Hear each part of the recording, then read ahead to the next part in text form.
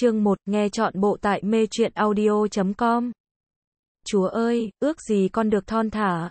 Ước gì con được thon thả, xinh đẹp và có thể có bất cứ người đàn ông nào con muốn. Chắc bạn nghĩ tôi điên, ý tôi là tôi ngồi đây, bên bàn làm việc với chiếc bánh sandwich hai lớp nhân trước mặt, nhưng chẳng lẽ tôi không được phép mơ mộng hay sao? Tôi còn nửa giờ nữa để ăn chưa? Nửa giờ thèm thuồng ngắm nghìa ấn bản mới nhất của cuốn tạp chí yêu thích. Đừng hiểu lầm tôi, tôi không đọc những bài chuyên đề, sao tôi phải làm thế chứ? Hàng nghìn từ nói về việc làm thế nào để giữ người đàn ông của mình, làm thế nào để khuấy động đời sống tình dục, làm thế nào phát hiện ra anh ta không trung thủy, mà nói thẳng ra thì những chuyện đó chẳng có nghĩa lý gì với tôi cả. Tôi sẽ tuyệt đối thành thật với bạn, tôi chưa bao giờ có một người bạn trai thực sự cả, và những cái tít trên trang bìa không phải là lý do để tôi mua tạp chí. Nếu bạn cần phải biết, thì tôi mua những cuốn tạp chí đó, mua hết, chỉ để xem ảnh mà thôi. Tôi ngồi ngắm nghía từng bức ảnh bóng bảy hàng phút liền, mê mải với đôi chân dài mềm mại, vòng eo nhỏ xíu và làn da rám nắng rạng rỡ của các người mẫu. Tôi có thói quen thế này. Tôi sẽ ngắm khuôn mặt trước, ngắm từng bên xương gò má như được đẽo tạc, khuôn cằm hình tim, rồi thật chậm rãi, tôi chuyển xuống chiêm ngưỡng thân hình họ, cẩn thận không bỏ qua một múi cơ nào. Tôi có một vài mẫu người yêu thích. Trong ngăn kéo tủ trên cùng trong phòng ngủ ở nhà tôi có một chồng bức ảnh siêu mẫu tôi hâm mộ nhất được cắt ra từ tạp chí trong những tư thế mà tôi ưa thích hơn cả. La Etiser có mặt trong bộ siêu tập này vì sự khêu gợi của cô ấy, với Christy là đôi môi và chiếc mũi, còn với Cindy là thân hình nóng bỏng. Và trước khi bạn nghĩ rằng tôi là một loại đồng tính kín nào đó, thì tôi vừa nói cho bạn biết điều tôi mơ ước nếu tôi cọ vào một cây đèn và một vị thần ngực trần đẹp đẽ bất ngờ hiện ra rồi đấy. Nếu có một điều ước trên đời, tôi sẽ không ước được chúng sổ số. Tôi cũng chẳng mơ tìm được một tình yêu thực sự. Không, nếu có một điều ước, tôi sẽ ước có thân hình của một người mẫu, có thể là Cindy Crawford chẳng hạn, và tôi sẽ nới rộng điều ước đó thành có và giữ được thân hình ấy cho dù tôi có ăn gì đi chăng nữa. Bởi vì, mặc dù rất khó mà thừa nhận điều này với một người hoàn toàn xa lạ, tôi vẫn phải thú thật rằng tôi, Jemima, tôi ăn rất nhiều. Tôi bắt gặp những cái liếc mắt, những ánh nhìn chừng chừng chê bai khi đi ăn nơi hàng quán đông người, và cố hết sức để phớt lờ chúng. Nếu một ai đó, một người bạn nào đó cố tỏ ra quan tâm chia sẻ, hỏi han tôi một cách nhẹ nhàng, thì tôi sẽ bảo họ tôi có vấn đề về tuyến giáp, hoặc vấn đề nội tiết. Và thỉnh thoảng tôi lại thêm rằng quá trình trao đổi chất trong cơ thể tôi còn cực chậm nữa. Chỉ để họ không nghi ngờ, chỉ để họ không nghĩ rằng lý do duy nhất khiến thân hình tôi thế này là bởi tôi ăn quá nhiều. Nhưng bạn đâu có khờ, tôi biết, và dựa vào thực tế là khoảng một nửa phụ nữ trên đất nước này mặc đồ cỡ 14. Tôi muốn bạn hãy cố mà hiểu những trận ăn uống lén lút vô độ cũng như những cơn thèm ăn liên tục của tôi để thấy đó không chỉ là vấn đề thức ăn. Bạn không cần biết nhiều về hoàn cảnh của tôi, chỉ cần nói rằng tôi có một tuổi thơ không hạnh phúc, rằng tôi chưa bao giờ cảm thấy được yêu thương rằng tôi chưa bao giờ vượt qua được cuộc hôn nhân tan vỡ của cha mẹ lúc còn nhỏ, và rằng bây giờ, khi đã trưởng thành, tôi chỉ cảm thấy thực sự thoải mái khi tìm kiếm sự an ủi trong thức ăn. Và tôi hiện tại là đây, một phụ nữ 27 tuổi, thông minh, hài hước, ấm áp biết quan tâm và tốt bụng. Nhưng tất nhiên mọi người không nhận ra điều đó khi nhìn Jemima John.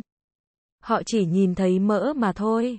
Thật không may là người ta không nhìn thấy những gì mà tôi thấy khi soi gương. Hình dung có chọn lọc, có lẽ tôi sẽ gọi nó như vậy. Họ không thấy mái tóc nâu sáng bóng mượt. Họ không thấy cặp mắt xanh lục, họ không trông thấy đôi môi đầy đạn.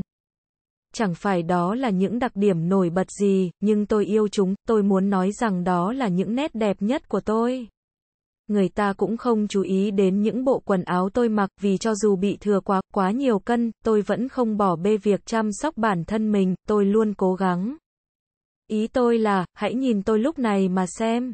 Nếu tôi thon thả, bạn sẽ nói rằng trông tôi thật tuyệt trong chiếc quần dài sọc đậm và chiếc áo dáng dài cùng tông màu cam hết sức hài hòa. Nhưng không, bởi vì cân nặng của tôi mà người ta chỉ nhìn tôi và nghĩ, chúa ơi, cô ta không nên mặc những gam màu sáng như vậy, đừng gây chú ý như thế chứ. Nhưng tại sao tôi lại không được đam mê quần áo chứ? Ít nhất tôi không tự nhủ rằng mình sẽ không mua sắm cho tới khi đạt được cỡ số 10, vì đương nhiên đời tôi là một chế độ ăn kiêng liên tục. Tất cả chúng ta đều biết chuyện gì xảy ra khi bạn ăn kiêng. Ngay khi bạn kiêng ăn một món nào đó thì cơn thèm ăn sẽ kiểm soát bạn cho đến khi mắt bạn mờ đi. Bạn không suy nghĩ sáng suốt được nữa và cách duy nhất để thoát khỏi cơn thèm ăn là cắn một mẩu sô-cô-la, rồi ngay sau đó là cả một thanh. Vậy là việc ăn kiêng chẳng có tác dụng gì, làm sao mà có tác dụng được cơ chứ? Đó là một ngành công nghiệp bạc tỷ, và nếu có một chế độ ăn kiêng nào thực sự hiệu quả thì cả cái ngành công nghiệp đó sẽ đi tong hết. Nếu có ai đó biết rằng việc này dễ thất bại ra sao thì đó chính là tôi. Chế độ ăn Scarsdale, High Fiber, Atkin, 6 quả trứng một ngày, Slim Fast, Quattro, Herbalife, thuốc viên giảm cân, đồ uống giảm cân, miếng rán giảm cân. Bạn cứ việc kể thêm ra, còn tôi là kẻ ngốc đã thử những phương pháp đó. Mặc dù phải thừa nhận rằng vài người đúng là đã giảm cân thành công hơn những người khác. Nhưng tôi chưa bao giờ thon thả, cho dù có viện đến tất cả các chế độ ăn kiêng ấy. Tôi thon thả hơn, nhưng không thon thả. Tôi biết lúc này bạn đang nhìn tôi với cặp mắt thương hại khi tôi ăn xong chiếc sandwich và lén lút nhìn quanh văn phòng xem có ai trông thấy không. Tốt, không có ai hết, thế là tôi có thể mở ngăn kéo trên cùng và khẽ lấy ra một thanh sô-cô-la giấu tít bên trong. Tôi xé lớp vỏ kẹo màu cam tươi và giấy bạc ra rồi nhét vào thùng rác dưới bàn, vì giấu một thanh sô-cô-la nâu sẫm thì dễ dàng hơn nhiều so với việc giấu một cái vỏ kẹo lòe loẹt như thế. Tôi cắn một miếng. Tôi tận hưởng vị sô-cô-la ngọt ngào tan ra trên lưỡi, rồi tôi lại cắn một miếng khác, lần này nhai nuốt ngấu nghiến, hầu như không thưởng thức gì nữa. Chỉ trong vài giây, thanh sô-cô-la hết veo, còn tôi ngồi đó với cảm giác mệt mỏi và tội lỗi. Nhưng tôi cũng cảm thấy nhẹ nhõm. Tôi vừa ăn hết thức ăn không tốt cho sức khỏe của ngày hôm nay, và điều đó nghĩa là không còn gì để ăn nữa. Có nghĩa là tối nay, khi trở về nhà ăn salad, món tôi định dành cho bữa tối, tôi sẽ thấy thoải mái và có thể bắt đầu ăn kiêng lại. Tôi liếc nhìn đồng hồ, thở dài. Lại một ngày nữa trong cuộc đời buồn tẻ của tôi, mà lẽ ra nó không nên như vậy. Tôi là nhà báo, lạy chúa. Đó hẳn là một cuộc sống sôi động và hào nhoáng phải không? Đáng tiếc là điều đó không dành cho tôi. Tôi ao ước cuộc sống của mình có chút gì thú vị, và thỉnh thoảng khi liếc qua những bài chuyên đề trong các tạp chí mà tôi dở lướt, tôi nghĩ mình có thể làm tốt hơn. Tôi có thể, ngoại trừ việc tôi chẳng có kinh nghiệm để viết về đàn ông không trung thủy, nhưng nếu có, lạy chúa, tôi sẽ giành giải, bởi phải nói rằng, tôi là một chuyên gia về từ ngữ. Tôi yêu tiếng Anh, tôi thích chơi với từ ngữ và xem câu chữ giáp nối hài hòa với nhau như những mảnh ghép trong bộ xếp hình, nhưng đáng buồn là tài năng của tôi bị uổng phí tại Cuban Hero này. Tôi ghét công việc này. Khi tôi gặp những người mới quen và họ hỏi tôi làm gì để kiếm sống, tôi ngẩng cao đầu mà nói tôi là nhà báo. Rồi tôi cố gắng chuyển đề tài vì câu hỏi quen thuộc tiếp theo sẽ là cô làm việc cho tòa soạn nào? Tôi cúi đầu xuống, khẽ nói đó là tòa soạn Cuban Hero, và nếu thực sự bị thúc ép, tôi sẽ cúi đầu thấp hơn nữa mà thú nhận rằng tôi làm ở mục top mẹo vặt. Tuần nào tôi cũng ngập trong thư của những con người buồn bã cô đơn ở Cuban, những kẻ không có việc gì tốt hơn để làm thay vì gửi đến những câu hỏi như Cách tốt nhất để tẩy trắng tấm lót sàn vân cẩm thạch bị ngả vàng là gì, và tôi có một đôi giá nến bằng bạc do bà tôi để lại. Bạc đã xỉn mất rồi, có cách gì không? Và tuần nào tôi cũng ngồi hàng giờ bên cái điện thoại chết tiệt gọi cho các nhà sản xuất tấm lót sàn, các hãng chế tác bạc, xin lỗi vì đã làm lãng phí thời gian của họ rồi xin câu trả lời. Công việc nhà báo của tôi là như vậy đấy. Đôi khi tôi cũng phải viết một bài chuyên đề, thường là một thông cáo báo chí đầy ca ngợi, một chút PR để lấp chỗ trống nào đó. Và hỡi ôi thế nào mà tôi lại miệt mài làm cái việc có vẻ như chán ngấy này được nhỉ? Tôi xé tan bài thông cáo rồi bắt đầu lại. Nếu đồng nghiệp của tôi, những phóng viên tin tức và nhà báo chuyên đề lượn lờ xung quanh tôi ấy, để tâm đọc những gì tôi viết thì họ sẽ thấy được văn phong tuyệt vời của tôi. Không phải là tôi không cố gắng thăng tiến trong lĩnh vực báo chí. Có những lúc khi sự buồn chán đe dọa biến tôi thành một kẻ hoàn toàn kém cỏi, tôi lại lê thân đến phòng tổng biên tập, nhồi nhét mình vào một chiếc ghế, khiến trên người xuất hiện vài thương tích. Rồi hỏi xin một cơ hội. Jemima, tổng biên tập lên tiếng, vừa ngả người vào ghế, gác chân lên bàn vừa phì phèo hút xì gà, sao cô lại muốn làm phóng viên tin tức nhỉ? Đâu có, tôi nói, cố ngăn mình không đảo mắt, vì dường như mỗi lần tôi vào đây là chúng tôi lại nói cái chuyện muôn thuở ấy. Tôi muốn viết những bài làm chuyên đề kia. Nhưng Jemima này, cô làm rất tốt công việc của mình ở top mẹo vặt mà. Thành thật mà nói, tôi không biết chúng ta sẽ thế nào nếu không có cô. Chỉ là, đó không hẳn là làm báo, tôi muốn viết nhiều hơn nữa. Tất cả chúng ta đều phải bắt đầu từ dưới đáy, ông ta nói, phần mở đầu của bài độc thoại quen thuộc, trong lúc tôi nghĩ, phải rồi, và giờ ông vẫn đang ở đó đấy, đây không phải là tòa soạn Guardian. Đây là tờ Cuban chết tiệt Hero. Cô có biết là tôi khởi nghiệp như thế nào không? Tôi khẽ lắc đầu, nhưng trong bụng thầm nghĩ, biết chứ, ông chỉ là một chân long tong chết dẫm cho tờ Southern Advertiser. Tôi chỉ là một chân long tong cho tờ Southern Advertiser. Và cứ thế, cứ thế, cứ thế. Cuộc nói chuyện lại kết thúc như mọi khi. Có thể sắp tới các chuyên đề sẽ cần người đấy, ông ta nói với một cái nháy mắt thông đồng. Cứ làm việc chăm chỉ, rồi tôi sẽ xem mình có thể làm gì. Và thế là tôi thở dài, cảm ơn tổng biên tập vì đã dành thời gian cho tôi và thận trọng nhấc mình khỏi cái ghế chật trội. Nhân tiện, cô có tham dự lớp học không đấy, ông ta hỏi ngay trước khi tôi ra tới cửa. Tôi quay lại nhìn ông ta, bối rối. Lớp học ư, lớp học nào? Cô biết đấy, ông ta nói thêm, nhận thấy tôi không biết ông ta đang nói về cái gì. Máy tính, Internet, mạng thông tin toàn cầu. Chúng ta sắp sửa on the line và tôi muốn tất cả nhân viên trong công sở này tham gia. On the line. Có phải ông ta muốn nói online, tôi nghĩ trong khi bước đi với nụ cười trên mặt. Tổng biên tập, người luôn khao khát phô trương đẳng cấp của mình, lại một lần nữa chứng tỏ rằng ông ta vẫn chỉ đang sống trong những năm 80 mà thôi. Đã đến lúc công sở cần nối mạng rồi. Tôi quay lại bàn làm việc, đi qua nhóm phóng viên tin tức đang bận rộn với các cuộc điện thoại, mắt tôi cụp xuống khi bước ngang qua thần tượng bí mật của mình, Ben William, phó ban biên tập tin tức. Cao giáo, đẹp trai, anh cũng đồng thời là Lothario, một của công sở. Có thể anh không có nhiều tiền để mặc đồ Armani, vì nơi đây là Cuban Hero, nhưng bộ vest của anh phù hợp một cách hoàn hảo với thân hình rắn chắc và cặp đùi cơ bắp, vậy nên nó có khác gì đồ hiệu.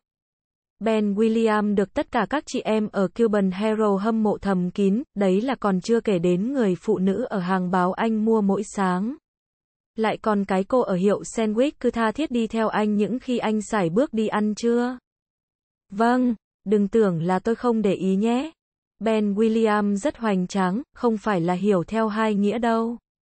Mái tóc nâu nhạt mềm mại chảy chuốt hoàn hảo, rủ xuống mắt trái thật tự nhiên, cặp lông mày hình vòng cung không chê vào đâu được và hai lúm đồng tiền ở vị trí không thể thích hợp hơn mỗi khi anh cười. Tất nhiên là anh biết rõ sức hút của mình đối với phụ nữ, nhưng đằng sau kiểu ăn nói lấy lòng ấy là một trái tim ấm áp đang đập, tuy nhiên đừng nói với anh ấy là tôi kể với bạn nhé. Ben không muốn ai biết điều đó đâu. Ben William là sự kết hợp hoàn hảo giữa một người đàn ông cao to đẹp trai và một cậu bé yếu đuối, và người phụ nữ duy nhất không quan tâm tới anh là Geraldine. Bạn biết đấy, Geraldine sinh ra để dành cho những thứ vĩ đại hơn nhiều. Geraldine cũng là người bạn duy nhất của tôi ở tòa soạn, mặc dù cô ấy có thể không đồng ý với điều này, vì xét cho cùng tôi và Geraldine không tụ tập cùng nhau sau giờ làm việc.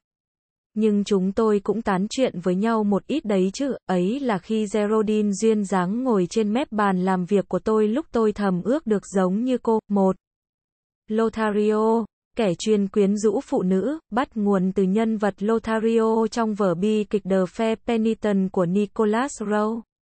Chúng tôi cũng hay đi ăn trưa cùng nhau, thường là với Ben nữa, và điều này đối với tôi vừa khổ sở vừa thú vị, theo tỷ lệ ngang nhau. Thú vị bởi tôi sống chỉ để chờ những ngày có anh nhập hội, nhưng khổ sở vì cứ mỗi lần anh lại gần là tôi lại biến thành một con bé 14 tuổi đầy ngượng nghịu. Tôi thậm chí không thể nhìn anh, nói chi đến việc trò chuyện cùng anh, và niềm an ủi duy nhất của tôi là khi anh ngồi xuống thì cơn thèm ăn của tôi lại biến mất. Tôi đoán chừng trong mắt Ben mình cũng có đôi chút dễ thương, và tôi chắc chắn Ben biết tôi đang mê mẩn anh một cách ngớ ngẩn, nhưng tôi ngờ rằng anh chẳng dành nhiều thời gian để nghĩ đến tôi. Nhất là khi Geraldine lảng vảng xung quanh. Geraldine bắt đầu làm việc ở đây khoảng chừng cùng thời điểm với tôi, và điều thực sự giết chết tôi chính là việc tôi khởi nghiệp với vai trò nhân viên thực tập, còn Geraldine là thư ký. Nhưng ai là người được viết những bài chuyên đề trước đây? Chính xác là như vậy đấy. Tôi không hẳn là kẻ hay diễu cợt đâu, nhưng với mái tóc vàng óng cắt kiểu bốp sành điệu và cỡ người số 8 nhỏ xíu vừa khít với những mẫu thời trang mới nhất. Geraldine có thể không có một gam tài năng nào, nhưng đàn ông yêu mến cô ấy, còn tổng biên tập thì nghĩ rằng cô ấy là tài sản lớn nhất của tòa soạn chỉ xếp sau, ừm, chỉ xếp sau chính ông ta. Và cái điều dày vò tôi thêm chính là việc Ben coi Geraldine là người phụ nữ đáng chú ý duy nhất ở tòa soạn này. Geraldine thì lại không để tâm lắm, đó là điều khiến tôi còn có thể chịu đựng được thực tế phũ phàng này. Chắc chắn rồi, cô ấy có thể đánh giá cao vẻ ngoài hấp dẫn của Ben, sự quyến rũ và sức hút của anh một cách khá vô tư nhưng làm ơn đi, anh làm việc ở Cuban Hero. Và chỉ với sự thật đó thôi đã là không thể chấp nhận với Geraldine rồi. Geraldine chỉ hẹn hò với những gã đàn ông giàu có, già hơn, giàu hơn, khôn ngoan hơn. Mối tình hiện tại của cô, khá ngạc nhiên, đã kéo dài được 8 tháng. Đây có thể coi là một kỷ lục nho nhỏ đối với Geraldine, và xem ra cô có vẻ khá nghiêm túc, điều này khiến Ben không thể chịu nổi. Tôi thì ngược lại, thích nghe những gì mà tôi gọi là chuyện của Geraldine, người phụ nữ tôi ao ước trở thành. Còn bây giờ tôi ngồi xuống ghế và nhấc điện thoại gọi cho phòng khám thú y địa phương. Xin chào, tôi nói qua điện thoại bằng giọng điệu vui tươi nhất. Tôi là Jemima John từ Cuban Hero. Xin cho tôi biết cách tẩy mùi nước tiểu mèo trên rèm cửa ạ. Jemima John kéo cửa chính ra và ngay lập tức cảm thấy thất vọng. Mỗi ngày trở về nhà trên xe buýt, nàng đều đan tay vào nhau cầu cho những người bạn cùng nhà đi chơi hết, cầu xin một chút yên bình tĩnh lặng, một cơ hội được ở một mình. Nhưng ngay sau khi cửa mở, nàng nghe thấy tiếng nhạc ầm ĩ vọng ra từ phòng khách, những tiếng cười khúc khích lúc lúc lại ngắt quãng cuộc chuyện trò, và với trái tim ủ rột, nàng bước vào nhà. Chào, tôi nói với hai cô gái, mỗi người nằm trên một chiếc sofa, đang buôn dưa. Có ai muốn uống trà không? Ồ có, mami, cả hai đờ NG thanh, còn tôi thì nhăn mặt với cái tên mà họ đã thống nhất để gọi tôi. Đó là biệt danh của tôi ở trường, cái tên mà tôi cố quên đi vì cứ mỗi lần được nhắc đến, ngay cả bây giờ, nó lại khiến tôi nhớ về một con bé béo ú trong lớp bị bạn bè bắt nạt và luôn bị gạt ra ngoài lề. Nhưng Sophie và Lisa, với vẻ hơi kẻ cả của họ, vẫn tiếp tục gọi tôi là Mami. Có thể họ không biết tôi lúc còn đi học, nhưng chắc chắn họ biết tôi ghét biệt danh này vì tôi đã lấy hết can đảm để kể với họ, nhưng thực sự là điều đó có vẻ chỉ làm họ buồn cười thêm thôi. Bạn có muốn biết về Sophie và Lisa không? Sophie và Lisa sống ở căn hộ này khá lâu trước khi tôi dọn đến đây, và luôn nghĩ rằng chắc họ phải hạnh phúc hơn tôi nhiều, ngoại trừ việc không có một cái máy pha trà thường xuyên vào buổi tối. Sophie là một cô ả tóc vàng sành điệu với nụ cười mời gọi và cặp mắt kiểu lên giường đi anh. Lisa có mái tóc đen dài bù xù và đôi môi đầy đặn trông như dỗi hờn. Khi gặp họ lần đầu, chắc bạn sẽ nghĩ họ là những tín đồ thời trang hay một thứ hào nhoáng tương tự, vì cả hai đều có thân hình hoàn hảo, tủ quần áo hàng hiệu, và nụ cười luôn nở trên môi. Nhưng sự thực kém thú vị hơn nhiều, và đó là điều duy nhất khiến tôi mỉm cười. Sophie và Lisa là nhân viên lễ tân. Họ cùng làm việc ở một hãng quảng cáo, và dành thì giờ để cạnh tranh nhau trong việc hẹn hò. Cả hai đã lần lượt thanh toán hết đàn ông ở công sở, đa phần bọn họ đều ổn, một số thì không. Còn hiện tại, hai cô ả ngồi sau quầy lễ tân bằng gỗ sồi và thép sáng bóng, chớp chớp hàng mi và hy vọng một khách hàng hấp dẫn khác bước qua cửa để thắp sáng trái tim mình. Họ ở nhà vào giờ này chẳng phải chuyện gì bất thường, nhưng sẽ là bất thường nếu họ ở nhà cả tối. Hai cô ả về nhà vào đúng năm. 30 chiều, nằm ườn ra đọc tạp chí, xem tivi, tán gẫu, trước khi nhảy vào bồn nước nóng lúc 7 giờ, làm tóc lúc 7, 45 và trang điểm lúc 8, 15. Cứ 9 giờ mỗi tối, sau khi mông má ăn diện xong xuôi, họ lại bước ra khỏi cửa chính. Ngất ngưởng trên những đôi giày gót không thể cao hơn, họ ngật ngưỡng đi ra, vừa cười rúc rích với nhau vừa dặn tôi, lúc đó thường đang ở trong phòng hoặc xem tivi, ở nhà ngoan nhé. Có vẻ như tối nào họ cũng nghĩ việc này là vui lắm vậy, còn tôi thì tối nào cũng muốn đập cho họ vài phát. Không phải là tôi không ưa mấy cô ả này, họ cũng hoàn toàn tầm thường thôi, chỉ là đôi vẹt lắm chuyện luôn làm tôi ngạc nhiên bởi sự ngốc nghếch của chính họ. Và thế là họ rời nhà đến Morton, Chem, Imbago. Những địa điểm nhạt nhẽo nơi họ tình cờ gặp những người đàn ông vô danh, rồi nếu may mắn thì họ sẽ được đưa đi uống rượu, ăn tối và lòng vòng trong chiếc Ferrari trước khi biến mất vào màn đêm. Đừng có lố bịch thế, tất nhiên tôi không đi cùng đôi vẹt ấy, nhưng cho dù coi thường lối sống của họ, thì một phần nào đó trong tôi, chỉ một phần nhỏ xíu thôi, vẫn muốn thử xem thế nào. Nhưng điều này thậm chí chẳng đáng để nghĩ đến. Họ thon thả và xinh đẹp, còn tôi thì không. Tôi chẳng bao giờ dám đề nghị đi cùng với họ, và họ cũng chẳng bao giờ dám mời tôi đi chung. Không phải họ xấu tính, bạn biết đấy, bên dưới lớp vỏ hào nhoáng và quyến rũ, họ cũng là những con người dễ chịu, nhưng một cô gái phải giữ gìn hình ảnh của mình. Và những người bạn béo ú thì không tương xứng, tôi e là như vậy. Chế độ ăn của họ, nếu phải nói thế, có vẻ như chỉ gồm những chai sâm banh được kích thích bởi những viên cocaine mà bọn đàn ông họ gặp đưa cho. Tủ lạnh ở nhà luôn trong tình trạng trống rỗng nếu tôi không đi mua sắm, và trong 8 tháng sống ở đây, tôi chưa bao giờ thấy họ ăn một bữa cho ra hồn.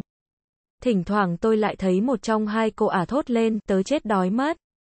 Và thế là Sophie, hoặc Lisa, sẽ mở tủ lạnh ra rồi đi vào phòng khách, miệng chóp chép một quả cà chua hay nửa lát bánh mì phết một lớp ham milk, hai, mỏng nhất mà tôi từng thấy.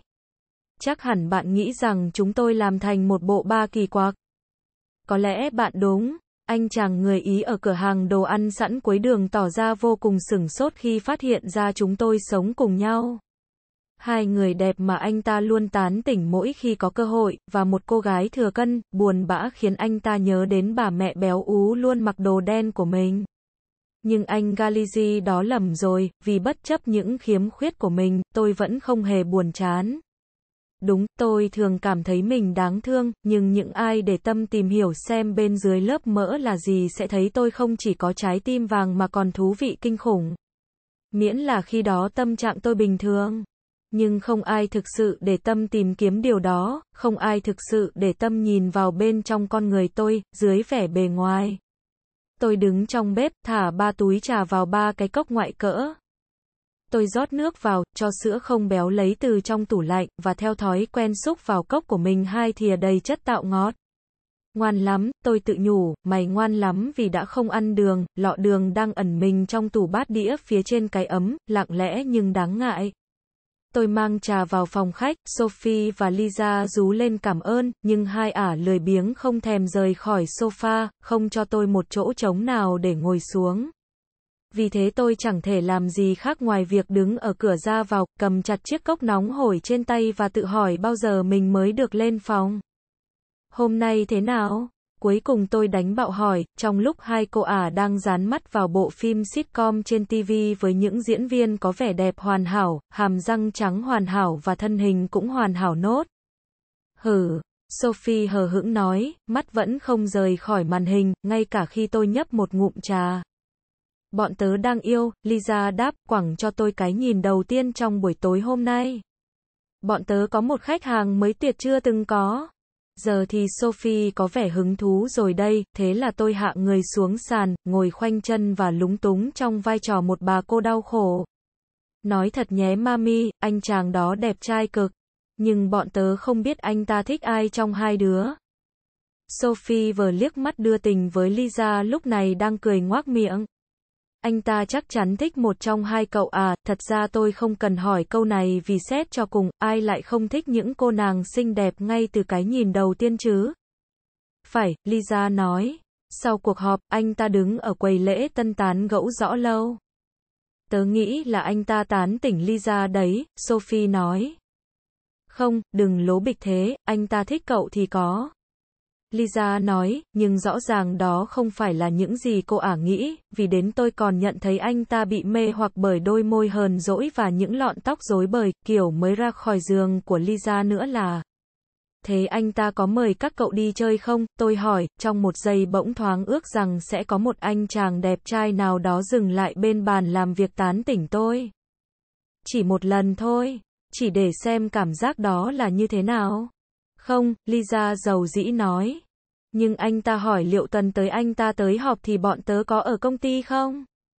Bọn tớ đã ngồi đây tính xem sẽ mặc đồ gì từ nãy rồi. Sophie nói rồi quay sang Lisa. Này, bộ vest đỏ thế nào? Tớ lên gác đây, tôi thông báo, cảm thấy hoàn toàn và thực sự bị bỏ ngoài cuộc trong khi cố đứng lên rồi nhích người ra phía cửa. Họ không cần tôi nữa, màn chào hỏi xã giao đã kết thúc và tôi sẽ chẳng bao giờ được họ tham khảo ý kiến về quần áo, vì theo Sophie và Lisa thì tôi chẳng biết gì hết. Tôi chậm chạp leo lên gác, dừng lại ở đầu cầu thang lấy hơi, bước vào phòng rồi nằm lăn ra giường, nhìn lên trần nhà cho đến khi hơi thở khoan thai và đều đặn hơn. Tôi nằm đó, quay cuồng với những mộng tưởng rõ nét về những gì mình sẽ mặc khi thon thả. Tôi sẽ cắt kiểu tóc xù thời thượng nhất, và nếu dám, chắc tôi sẽ nhuộm vài lọn tóc vàng ở ngay phía trước. Tôi sẽ thường xuyên đeo kính dâm. Đôi khi là một chiếc kính đổi mồi to bản mà các minh tinh Hollywood hay đeo, nhưng phần lớn thời gian tôi sẽ đeo một cặp kính mắt tròn nhỏ, thông minh sành điệu. Thể hiện sự tinh tế và quyến rũ của chủ nhân. Tôi sẽ mặc những chiếc quần màu kem bó sát, những chiếc áo quây co giãn, và phần da thịt lộ ra sẽ thật căng và dám nắng. Tôi quyết định thậm chí trông tôi cũng sẽ rất tuyệt trong chiếc áo choàng tắm.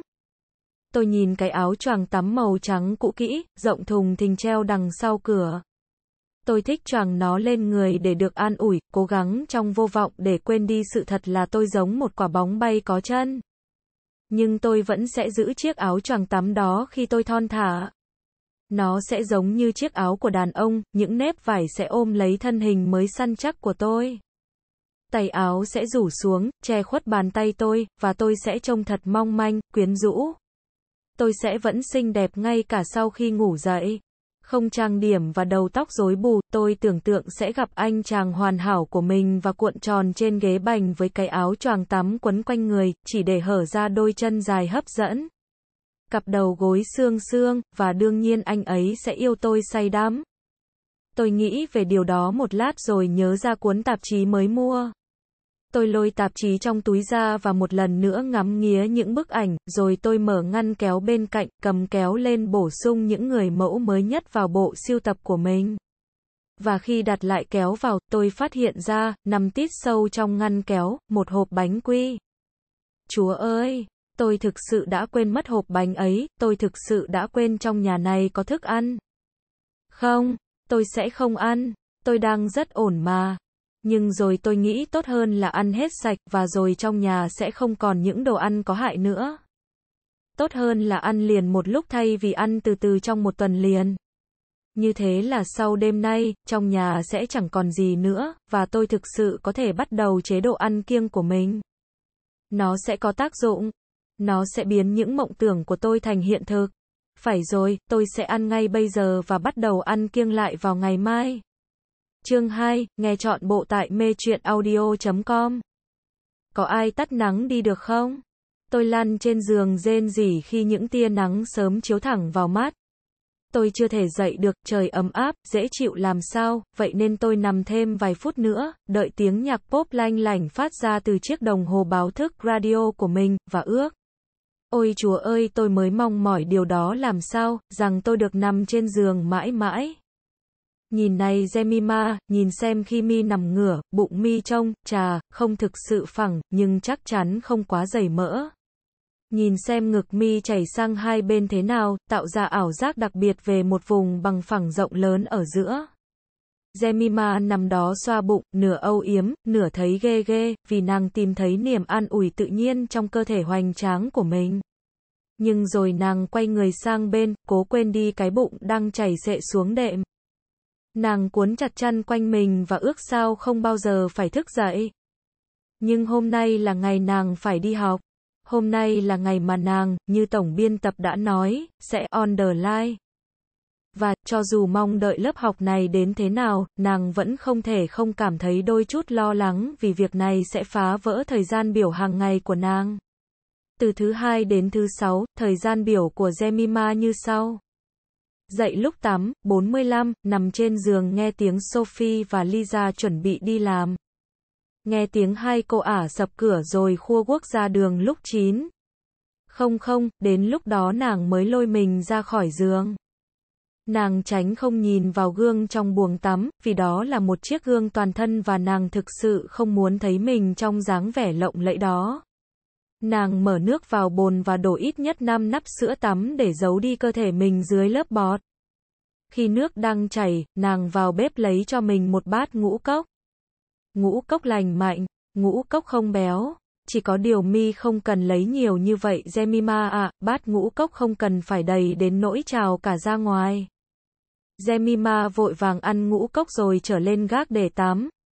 Rồi nàng quay về phòng ngủ mặc đồ, và chỉ lúc ấy, sau khi đã được bao bọc trong áo quần thoải mái rồi, nàng mới soi gương và khá thích những gì mình nhìn thấy.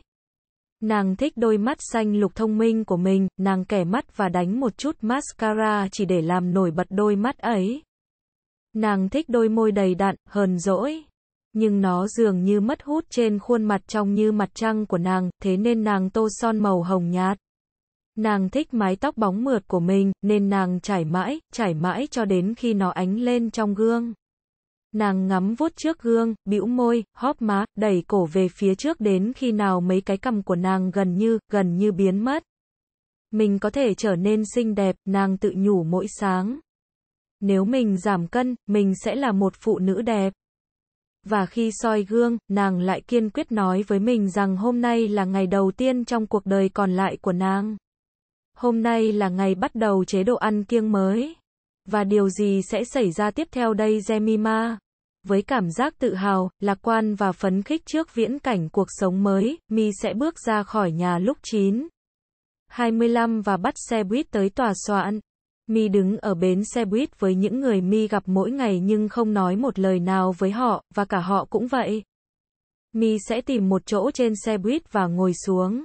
Đùi mi lấn sang cả phần ghế bên cạnh và mi cầu nguyện để không ai ngồi cạnh, buộc mi phải nín thở, phải cố khép đùi và nén giận trước sự cả gan của họ. Rồi mi xuống xe ở góc đường chính Kilburn. Mi đi bộ một chút là tới tòa soạn và mỗi sáng trên đường, khi đi qua cửa hàng giày với những đôi giày gợi cảm ở quầy kính trưng bày, lỗ mũi mi lại phập phồng. Không có mùi gì trên thế giới này như mùi thịt muối chiên, chắc hẳn bạn cũng nghĩ vậy. Cùng với mùi thì là, mùi hoa oải hương và saneno. 5. Mùi thịt muối chiên là một trong những mùi Jemima thích nhất. Nếu chỉ đơn giản như vậy thì mọi chuyện sẽ ổn cả, nhưng khứu giác của Jemima mạnh hơn ý chí nàng. Mi bước chậm hơn khi đến gần quán ăn, và cứ mỗi bước đi, hình ảnh bánh sandwich thịt muối với những lát thịt béo ngập mỡ. Những giọt mỡ giỏ tong tong từ miếng thịt trắng dày dặn trở nên sinh động đến nỗi mi gần như có thể thưởng thức được. Mỗi sáng mi lại đấu tranh với bản thân, Jemima à. Mi tự nhủ rằng hôm nay mình sẽ bắt đầu ăn kiêng, nhưng mùi thức ăn mạnh đến nỗi Mi không thể chịu đựng nổi, và sáng nào Mi cũng thấy mình ở quầy hàng này, mua hai bánh sandwich thịt muối. Cưng à, ông thấy bánh ngon chứ? Người phụ nữ đứng sau quầy hỏi, đó là Mark, một người mà Jemima quen. Ngày xưa ngày xưa, đã lâu lắm rồi, Jemima nói với Mark rằng nàng mua sandwich thịt muối cho sếp của mình. Cô nàng tội nghiệp, Mark nghĩ, tôi biết là cô mua cho mình. Nhưng Mark là một phụ nữ tốt bụng nên đã vờ như tin nàng. Chúc một ngày tốt lành, Mark nói, đưa sandwich cho Jemima, và nàng nhét bánh vào túi, tiếp tục màn kịch bước đi trên phố. Sau vài bước thì bánh sandwich thịt muối bắt đầu cất tiếng gọi. Jemima, bánh sandwich thì thầm dưới đáy túi. Bọn ta rất ngon và béo ngậy, Jemima. Nếm đi, thưởng thức đi, ngay bây giờ. Và rồi mi thọc tay vào túi, cơn thèm ăn đã nhanh chóng chế ngự nỗi e ngại khi ăn ngoài đường, và một, hai, ba, bốn miếng, hai chiếc bánh đã hết veo. Rồi mi tới tòa soạn, lấy tay áo lau miệng, dừng lại ở quầy báo mua vài viên kẹo bạc hà không đường để không ai có thể nhận ra mùi thịt muối. Công việc mỗi sáng của mi là phân loại thư và ngóng thời gian cho tới khi đồng hồ chỉ 11, 30, thời điểm để dùng trà. Tớ chết đói mất, mi nói như vậy với Alison, cô thư ký ngồi đối diện. Tớ chưa ăn sáng, đó là lời biện bạch cho cái sandwich thịt muối kẹp trứng mi mang ra từ căng tin cùng với một tách trà và ba thìa chất tạo ngọt. Vào lúc 1, không không trưa mỗi ngày, mi lại quay trở lại căng tin ăn trưa. Salad là thực đơn hàng ngày, ngoại trừ việc món salad mi chọn ở quầy bán hàng mỡ màng như một chiếc bánh kem. Salad bắp cải, cơm trộn, pasta trộn, những lát format, salad khoai tây bơi trong nước sốt. Mi xếp đầy chúng lên đĩa và tự nhủ rằng những thức ăn này tốt cho sức khỏe. Một ổ bánh mì trắng với hai lát bơ là món tráng miệng cho bữa trưa, nhưng Mi không no lắm. Mi chưa bao giờ thực sự no cả. Buổi chiều, Mi dành thời gian để viết cho mục top mẹo vặt trước khi lại đặt bút xuống vào giờ uống trà. Đôi khi Mi ăn một cái bánh, có lúc là khoai tây chiên hoặc bánh quy và thi thoảng, cứ khoảng hai lần một tuần, Mi lại ăn một cái sandwich khác. Và cuối cùng vào lúc 6 giờ, ngày làm việc của Mi kết thúc. Trong lúc đợi xe buýt, Mi ghé vào một quầy báo mua hai phong sô-cô-la để chống đói trên đường về nhà, và rồi cảm giác sợ hãi quen thuộc vây lấy Mi khi trở về ngôi nhà có hai cô bạn hoàn hảo. Những buổi tối của Mi thật đơn điệu. Mi lại một mình, cảm thấy nhẹ nhõm khi Sophie và Lisa ra ngoài tiệc tùng, và buổi tối cứ thế chìm vào lãng quên. Mi xem TV, game show, sitcom, phim tài liệu. Chỉ một số ít phù hợp với thị hiếu đa dạng của Mi, Jemima à, cũng như rất ít chương trình phù hợp với kiến thức Mi có. Hoặc Mi có thể đọc sách, vì Mi có hàng trăm cuốn sách để làm nguôi cơn khát kiến thức. Và Mi thường nằm trên giường mơ mộng về sự lãng mạn, cái mà Mi có rất ít trải nghiệm.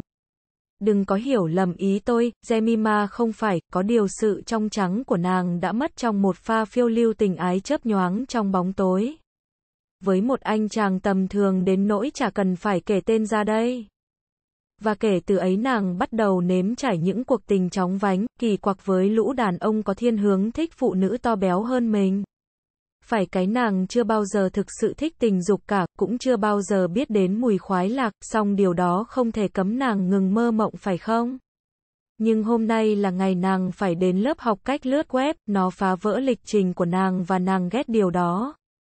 Không còn sandwich thịt muối cho Jemima sáng nay nữa vì lớp học nằm ở khu West End, rất xa quán ăn quen thuộc của nàng nhưng ít ra nàng sẽ không phải đi học một mình bởi vì Geraldine, người có thân hình hoàn hảo và anh bạn trai giàu có, sẽ đến đón nàng. Tớ sẽ không đi cái tàu khỉ gió ấy đâu, Geraldine đã nói thế vào chiều qua khi tôi hỏi cô đến lớp bằng cách nào. Tớ có một con xe tuyệt đẹp, cô nói thêm, biết rõ là cả cái tòa soạn này ghen tị với chiếc BMW mới, đen bóng của cô. Chiếc xe được trả một phần bởi bạn trai và một phần bởi bố mẹ, nhưng cô không nói với ai về khoản tài trợ của hai cụ cả.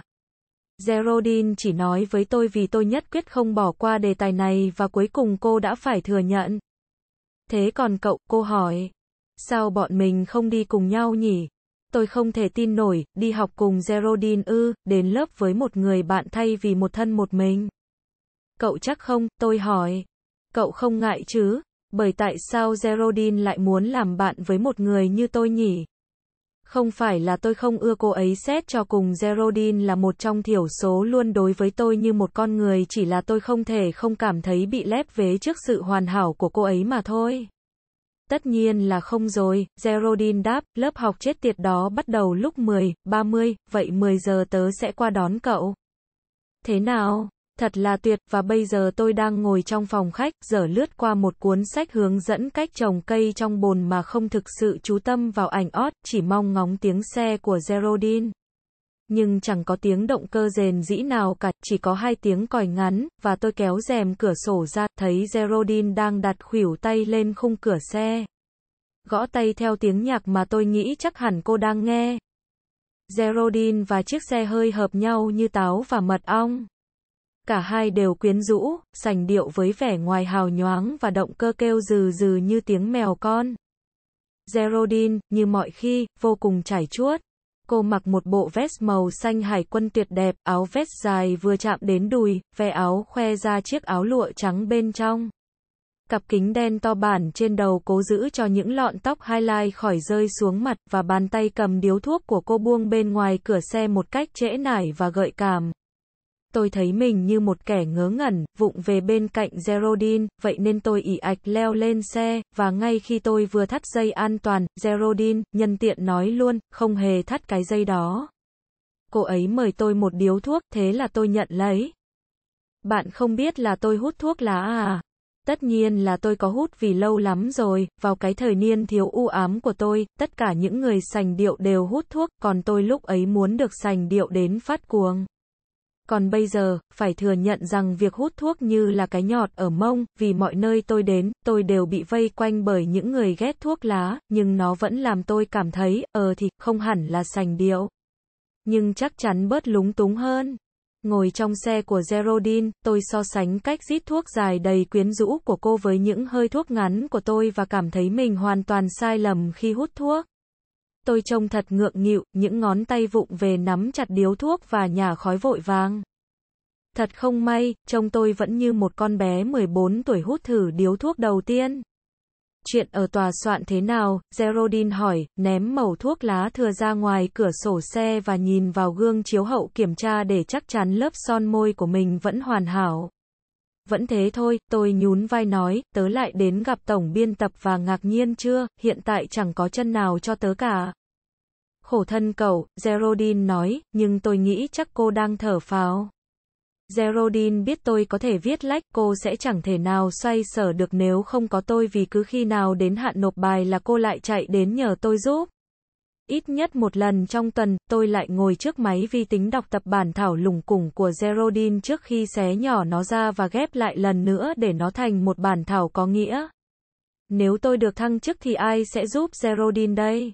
Nhưng tôi không để tâm, thật vậy, không hề, và có lẽ theo một cách kỳ lạ nào đó thì đấy chính là lý do tôi cảm thấy bớt lép vế hơn khi ngồi trong xe Zerodin và bắt đầu thực sự quý mến cô. Cũng có lẽ bởi tôi biết rõ mình tài năng hơn Geraldine gấp nhiều lần trong việc viết lách, cho dù cô thật mảnh mai và xinh đẹp. Ồ, cô nói tiếp, đừng bận lòng, rồi thời của cậu cũng sẽ đến thôi. Cô đưa tay lên đeo kính, rên rỉ. Chúa ơi, đầu tớ váng vất quá đi. Tôi ngạc nhiên nhìn cô, vì rõ ràng Geraldine không biết nghĩa của từ này. Tình trạng váng vất xảy ra sau khi say bí tỉ, khi ấy mắt sẽ thâm quầng, đỏ ngầu, da nhợt nhạt có dấu hiệu chuyển sang màu xám xịt, còn tóc tai thì rũ rượi. Geraldine, như mọi khi, trông vẫn tuyệt vời. Một tiếng cười khe khẽ bật ra từ miệng tôi. Cậu đã bao giờ trông kém hoàn hảo chưa, Geraldine?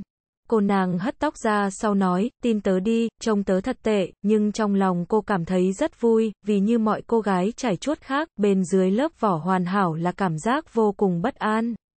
Và cô ấy thích được nghe người khác khen mình xinh đẹp. Lời khen ấy giúp cô thêm tin tưởng vào điều đó. Kể tớ nghe chuyện tối qua đi.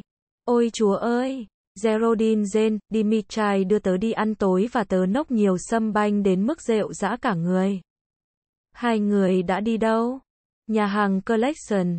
Tớ chưa từng đến đó, tôi nói, biết rõ là mình sẽ chẳng bao giờ đặt chân đến một nơi như vậy vì đó là nhà hàng dành riêng cho những người giàu có và xinh đẹp, thế nhưng tôi lại biết hết về nó. Tôi biết về những con người hào nhoáng ấy qua tạp chí, cũng như từ Sophie và Lisa, những người đương nhiên đã được đãi rượu, được mời ăn tối. Được đàn ông ve vãn ở cả quán ba tầng dưới lẫn nhà hàng tầng trên chắc nơi đó toàn những người nổi tiếng và xinh đẹp. Thật ra, Geraldine nói, thật ra, nơi đó có rất nhiều người trông như thể rất nổi tiếng vậy, chỉ có điều không ai trong chúng ta biết họ là ai cả. Những kẻ học đòi chết tiệt, tôi thở dài nói. Bây giờ đâu đâu cũng thấy những người như thế, và cả hai chúng tôi cùng cười. Geraldine đột nhiên rẽ phải và đỗ bên ngoài một khu chung cư lớn. Xin lỗi, cô quay sang tôi nói, Ben William quấy quả tớ cho đi nhờ xe, thế nên tớ nói sẽ đến đón anh ta. Cậu không ngại chứ? Không, tôi nói, tim bỗng đập thình thịch. Tớ không biết là anh ấy sống ở đây. Hôm qua anh ta đưa địa chỉ thì tớ mới biết, nhưng ngay cả chuột cống cũng có ổ kia mà. Anh ấy sống cùng với ai vậy? Hai gã nữa, hình như thế. Chúa ơi, cậu có tưởng tượng được căn hộ của họ trông như thế nào không? Ờ, tôi nói, dù trong đầu chẳng có ý niệm nào hết. Tôi ư, làm thế quái nào mà tôi biết nơi ở của một gã độc thân trông như thế nào, nhưng tôi đã xem phim đàn ông cư xử thật tệ nên có thể sẽ phịa ra được. Tất bốc mùi vắt đầy trên lò sưởi. Tạp chí khiêu dâm chất đầy hành lang, Geraldine nhăn mặt nói. Khăn trải giường 6 tháng không giặt. Những chồng bát đĩa bẩn tràn cả ra ngoài bồn rửa. Cả hai chúng tôi cùng ôm bụng cười, Geraldine còn vờ nôn ọe, nhưng tiếng cười của tôi vụt tắt ngấm khi thấy Ben chạy ra khỏi cửa chính. Như thường lệ, bụng tôi lại quặn lên trước sự xuất hiện của anh chàng điển trai này. Để anh ta ngồi ghế sau ấy, Geraldine thì thầm. Tớ không thích ngồi cạnh anh ta. Ben đi về phía chiếc xe, thế là tôi bước ra ngoài, cố tỏ ra dễ thương, nhã nhặn và nữ tính. Chào các em, hôm nay trông cả hai xinh quá. Anh ấy không định khen mình, chỉ là lịch sự thôi, nhưng tôi vẫn lúng túng đứng trên vỉa hè và Ben kiên nhẫn nhìn tôi, có ý đợi tôi trèo lên ghế sau. Ben, Geraldine gọi từ ghế lái. Anh không ngại ngồi ghế sau chứ? Ô, Ben thốt lên. Sau vài giây ngập ngừng, lúc ấy tôi chỉ muốn mặt đất nứt ra và nuốt chửng mình thôi, anh nói, được. Rồi với một động tác nhanh nhẹn và phong nhã, anh bước vào trong xe.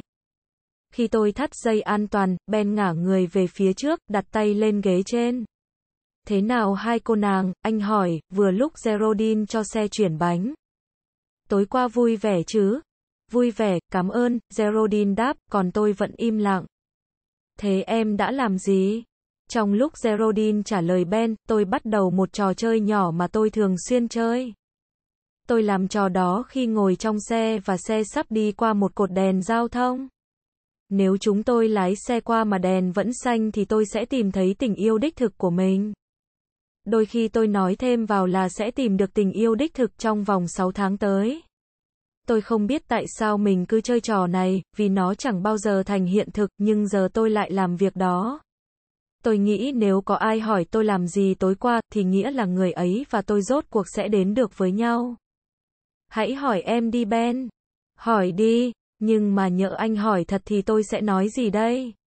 Rằng tôi ở nhà và ăn bánh quy sô-cô-la à, chúa ơi, con phải làm sao để tỏ ra mình là một người thú vị bây giờ? Thế còn em Jemima, ôi chúa ơi! Câu hỏi đã được sướng lên trước khi tôi kịp nặn ra một câu trả lời. Ồ, em đi dự tiệc. Thật à, Ben và Geraldine lên tiếng cùng một lúc. Cậu chưa kể với tớ, Geraldine nói. Tiệc của ai vậy? Nhanh, nhanh, nghĩ đi, Jemima, của một người bạn cũ thôi mà. Một đêm tưng bừng hả Jemima, Ben nháy mắt hỏi. Vâng, cuối cùng tôi quyết định liều một phen. Lúc đó em khá say, hơi phê phê, kết cuộc là đã vui vẻ với một anh chàng trong toilet. Im lặng bao trùm trong xe, cả Ben và Geraldine đều không biết phải nói gì, còn tôi cảm thấy phát ốm lên được. Tôi biết mình đã nói sai. Đó không phải là câu chuyện hài hước như tôi mong đợi, mà đã trở nên kỳ cục thế nên tôi thở sâu và cho họ biết sự thật.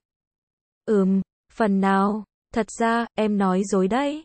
Em ở nhà và xem chương trình 60 minute 3. Ben và Geraldine túng ngay lấy câu chuyện hài này và phá lên cười. Nhưng thật xui xẻo, ít nhất nếu bạn ngồi ở nơi mà Jemima John đang ngồi, bạn sẽ thấy chuyện này chẳng vui vẻ chút nào. Thậm chí còn hơi buồn nữa kia. 3.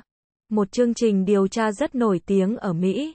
Chương 3, nghe chọn bộ tại mê chuyện audio.com. Tôi đã nghe về Internet, đọc về Internet, nói về Internet, nhưng tôi chưa bao giờ thực sự hiểu về nó. Vâng, dĩ nhiên là cái tòa soạn Cuban chết tiệt hero của chúng tôi đi sau thời đại công nghệ chừng 4 năm liền và đây là lần đầu tiên chúng tôi chuẩn bị nối mạng.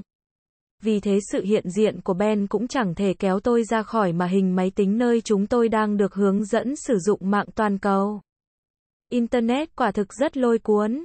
Rob, người đang hướng dẫn chúng tôi, giải thích hết sức ngắn gọn và rõ ràng nên tôi bắt đầu hiểu chính xác cái trò mua vui thú vị này và ước giá như trước kia mình có tiền mua máy vi tính thì lẽ ra đã có thể tìm hiểu được nó sớm hơn. Tôi nhận thấy Geraldine chán ngấy buổi học này, và để giải khuây, cô nàng quay sang tán tỉnh Rob, người có vẻ như rất vui khi một người như Geraldine để mắt đến anh ta. Nhưng Ben lại là đồng minh của tôi trong vụ này, anh cũng bị mê hoặc bởi Internet như tôi và cùng tôi ào xem các nhóm tin, website, diễn đàn. Rob hướng dẫn chúng tôi cách tạo một trang, và giải thích rằng đây chính là web mạng lưới.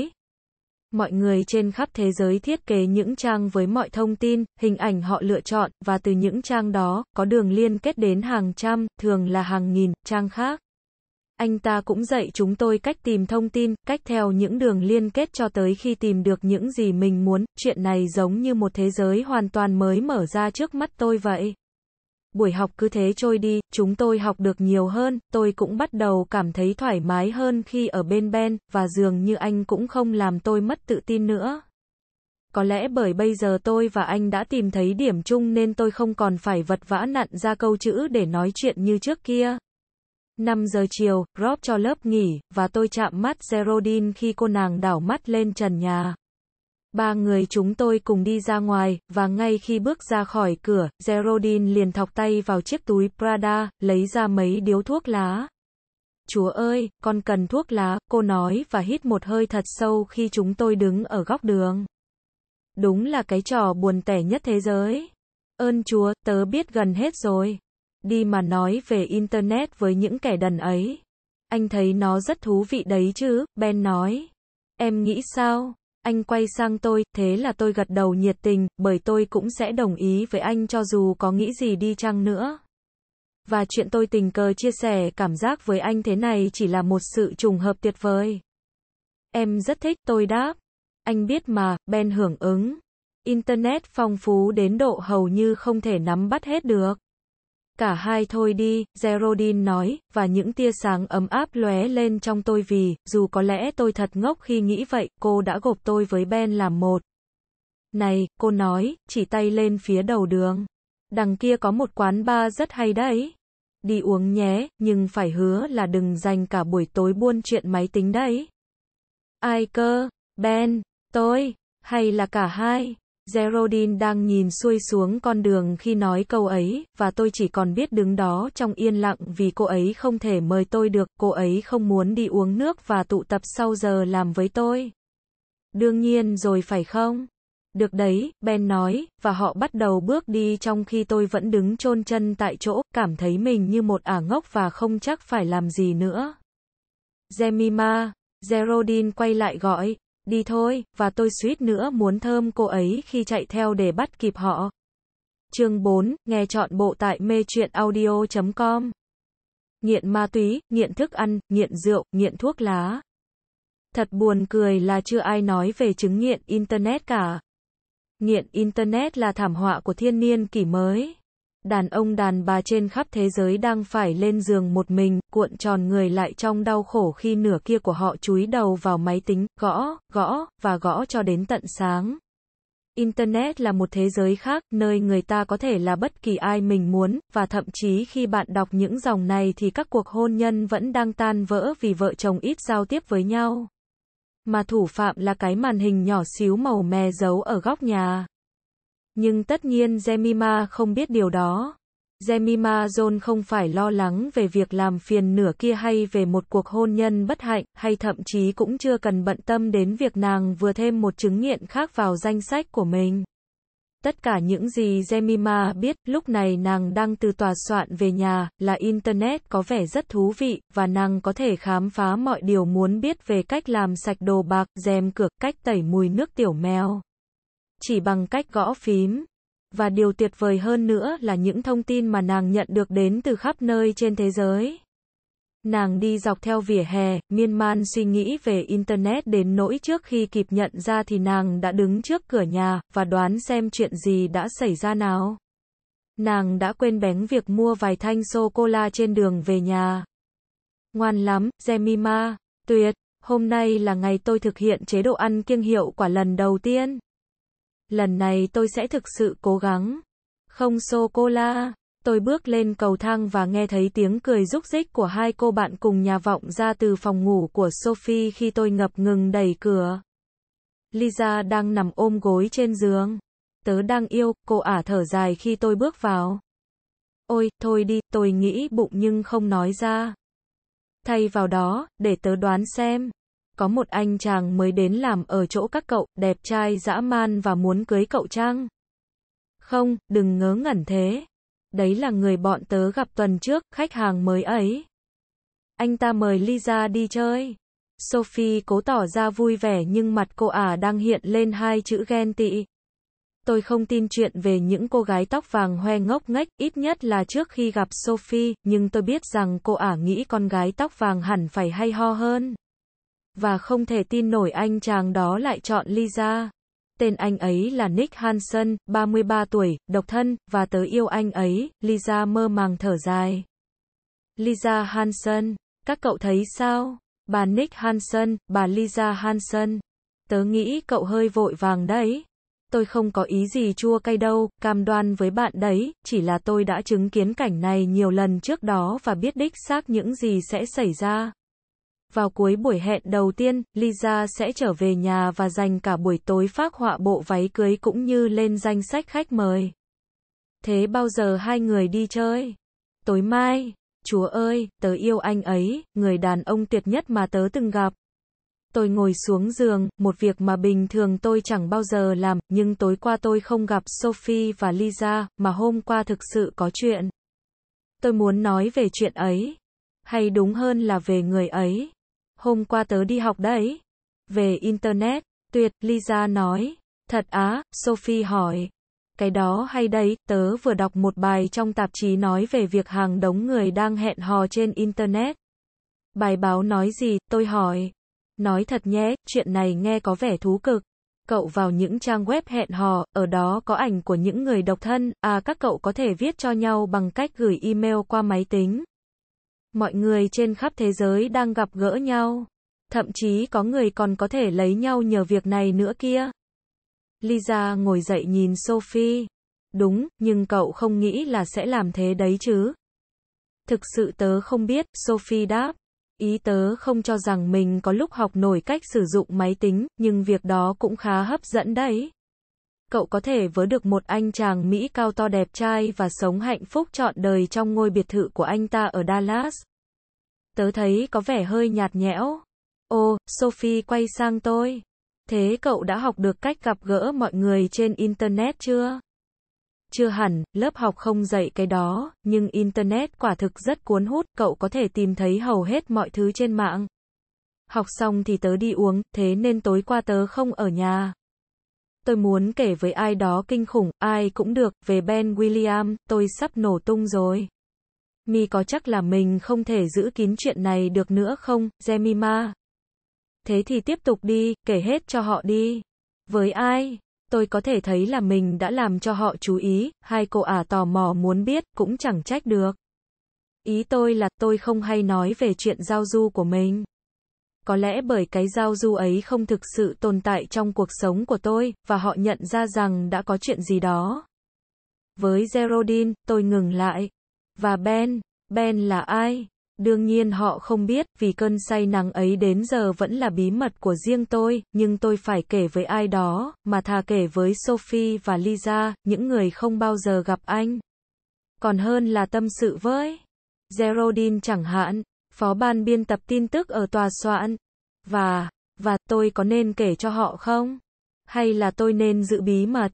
Ôi, chết tiệt, và tớ thấy anh ấy vô cùng tuyệt vời, xong. Thở sâu, lộ rồi không còn đường lùi nữa. Sophie và Lisa ngồi đó, lặng im vì choáng váng. Trước đây tôi chưa từng nói chuyện về đàn ông, và khi nhìn họ, tôi có thể thấy cặp mắt của hai cô ả đờ đẫn khi tưởng tượng ra Ben, và tôi biết là họ đã nhầm hoàn toàn. Jemima John hoàn toàn đúng, hai cô ả ấy tưởng tượng sai bét. Lisa nghĩ Ben cao khoảng 1,73 mét, chiều ngang tầm 1,4 mét. Đó là một gã béo phì, tẻ nhạt kinh khủng, và đích thị là một con mọt máy tính. Ả à, cho rằng ý tưởng về một buổi tối vui vẻ của anh là ở quán rượu, uống hàng lít bia nhẹ với những người bạn cũng là mọt máy tính nốt. Giá như họ biết, vì Ben William là mẫu đàn ông mà cả Sophie và Lisa đều chết mê chết mệt. Tiếp đi, anh ta thế nào? Giờ đến lượt tôi thở dài. Một người hài hước, anh ấy khiến tớ cười. Anh ấy thông minh, quyến rũ và biết cách cư xử với phụ nữ nữa. Nhưng trông anh ta thế nào? Tớ không biết tả ra sao, thật đấy. Anh ấy cao khoảng 1,88 mét. Sophie và Lisa đưa mắt nhìn nhau, cố nín cười, tôi biết họ đang nghĩ tôi nói dối. Thế thì sao nào? Tôi tiếp tục, anh ấy có mái tóc nâu, và cặp mắt tuyệt đẹp, nhưng tớ không chắc cặp mắt đó màu gì. Xanh lục trăng, trúng phóc, Lisa vừa nghĩ vừa đưa mắt nhìn Sophie lần nữa, cậu ta đang tả một người mẫu nào đó mà cậu ta thấy trong tạp chí.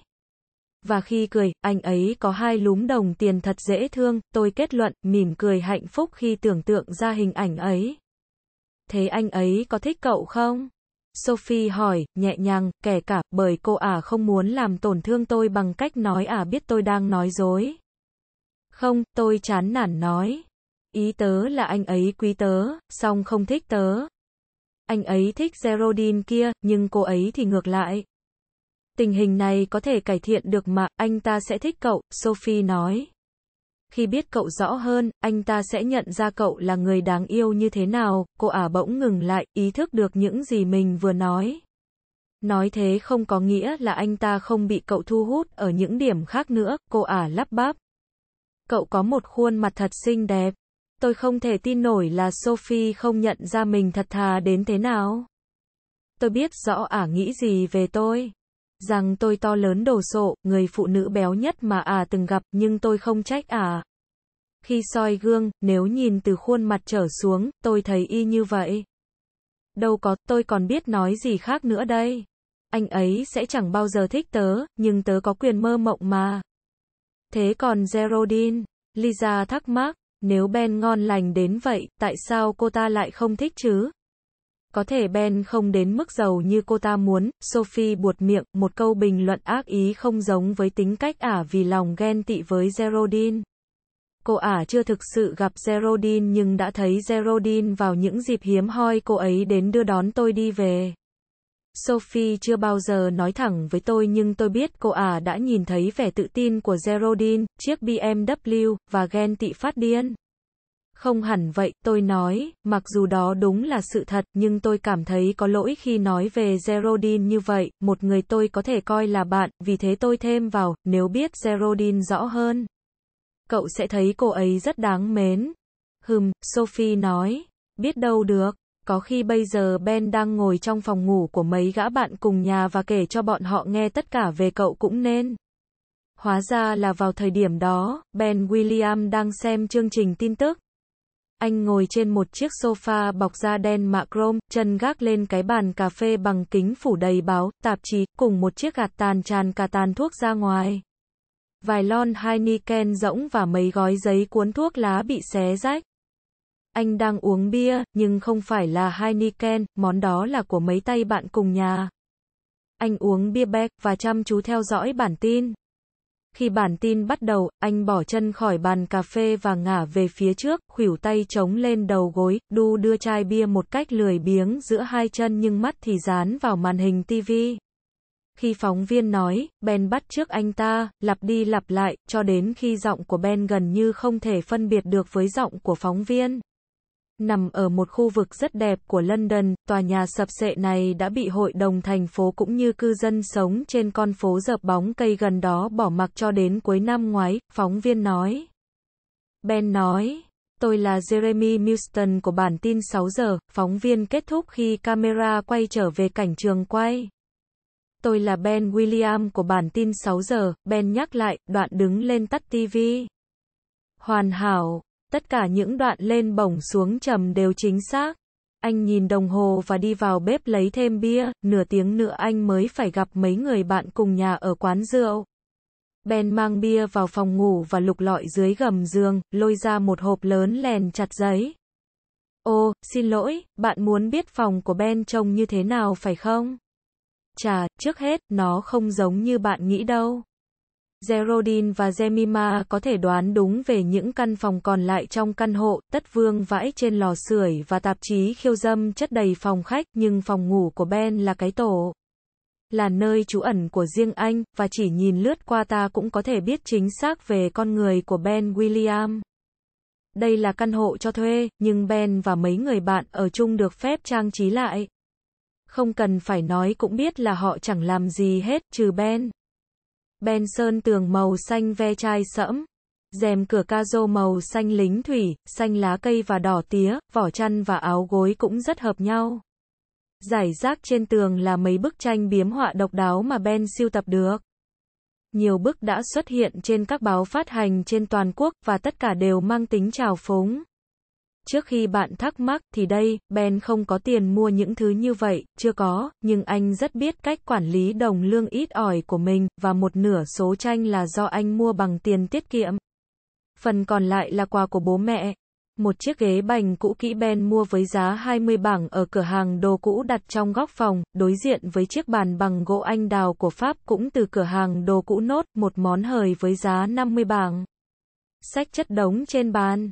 Tự tiện, tiểu sử, sách dạy nấu ăn vì Ben thích nấu ăn các tác phẩm hư cấu, phi hư cấu.